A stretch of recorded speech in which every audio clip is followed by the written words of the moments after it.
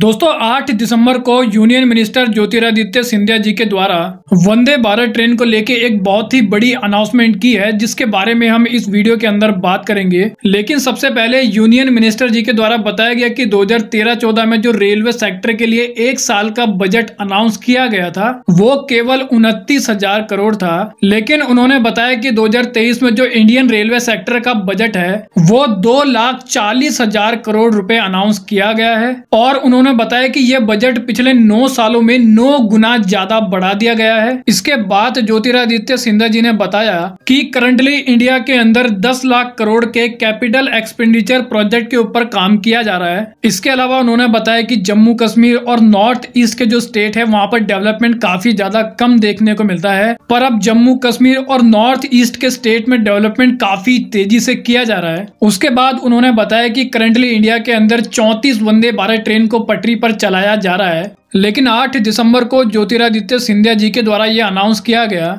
कि अब आपको इंडियन रेलवे सेक्टर में टोटल 4,500 नई वंदे भारत ट्रेन देखने को मिलने वाली है क्योंकि इंडियन रेलवे का ये टारगेट है कि दो तक इंडियन रेलवे सेक्टर में टोटल 4,500 वंदे भारत ट्रेन को पटरी पर चलाया जाएगा। इसके अलावा उन्होंने बताया कि आने वाले तीन सालों के अंदर लोगों के लिए बुलेट ट्रेन को भी ऑपरेशनल कर दिया जाएगा। यानी कि इंडिया की पहली बुलेट ट्रेन हमें आने वाले तीन सालों में पटरी पर दौड़ती हुई दिखेगी। और अगर बात करें ट्रैक्स यानी कि पटरियों के बारे में तो ज्योतिरादित्य सिंधिया जी के द्वारा बताया गया कि 2014 से लेकर अभी तक एनडीए गवर्नमेंट के द्वारा टोटल 25,871 किलोमीटर लंबे नए ट्रैक्स को बिछाया गया है।